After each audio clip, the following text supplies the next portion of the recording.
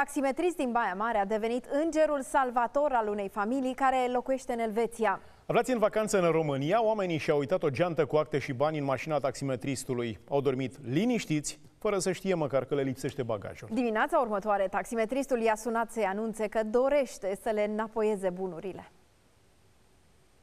Azi dimineață m-am uitat să văd cât de murdare mi spreșurile și geanta era aici, am găsit-o aici, geanta.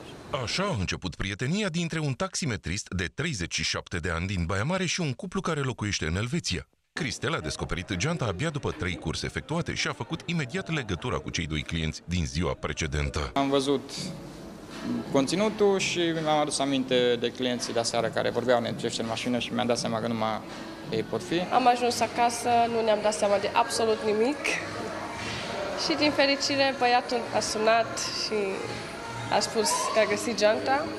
Dacă găsești o geantă cu bani, cu acte, cam nu prea ai intenția să o dai înapoi.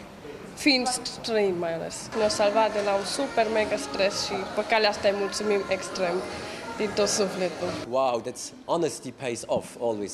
And so it's really a, a nice story to, to tell anybody. And I will tell in Switzerland and all over the world what happens to me in Baia Mare. Diana și Simon veniseră în România în vacanță. În geantă se aflau peste 2000 de euro cash și alte carduri cu sume importante de bani. Oricât de greu mi-ar fi și, și eu muncesc pentru bani și toată lumea muncește și să fiu eu în situația lor nu, nu, nu pot imagina.